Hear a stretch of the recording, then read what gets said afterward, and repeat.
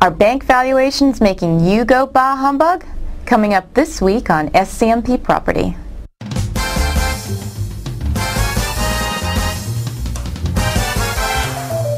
You could always go to another bank. Perhaps you uh, are paying a premium for that particular property that you're looking at.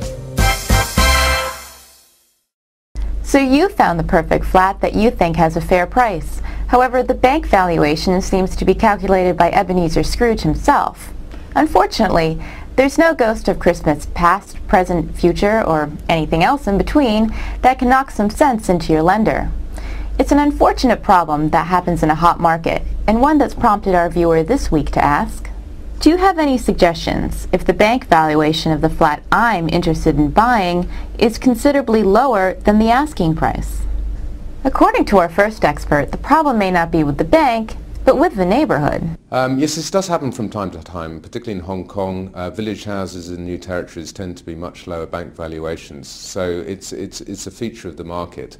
Um, you could always go to another bank uh, and um, talk to them about evaluation and talk to them and encourage them to even go and look at the property. Sometimes this improves the valuation. Um, there is a top-up um, mortgage available. Uh, it's through available through one of the banks in Hong Kong plus the Hong Kong Monetary Authority. Mix and match mortgages may be what it takes to make your dream home yours. But have you considered giving your wallet a rest? My advice would be for the uh, investor to initially um, trying to get a second opinion or second valuation perhaps from another bank.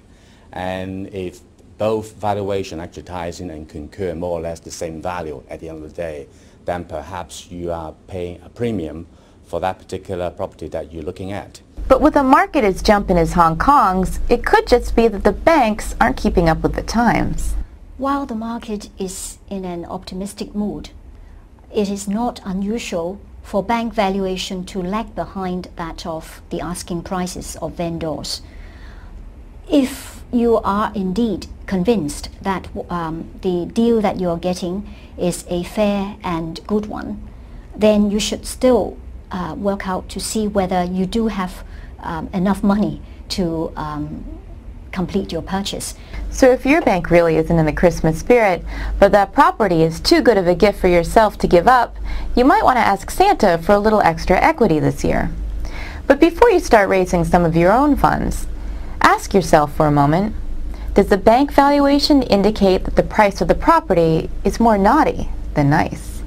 That's all for this week. This has been Lauren Bass.